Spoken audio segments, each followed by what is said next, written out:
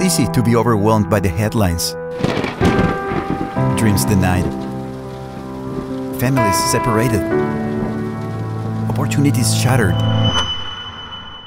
And yet, every day, seeds of hope are being planted in Central America, which affect what happens on our borders.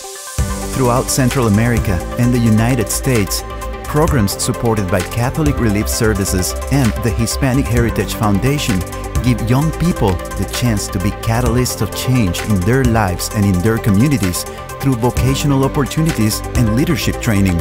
Amidst violence, oppression, and hopelessness, these programs help transform creative thinkers into entrepreneurs and offer mentoring and skill building to jóvenes. By fostering social and economic resilience, Catholic Relief Services and its local partners are addressing the root causes of migration and are offering an alternative to gangs and violence and a path that leads out of poverty. Our young people learn how to run profitable businesses and they grow in confidence, character, and spirituality as professionals learning about themselves and others.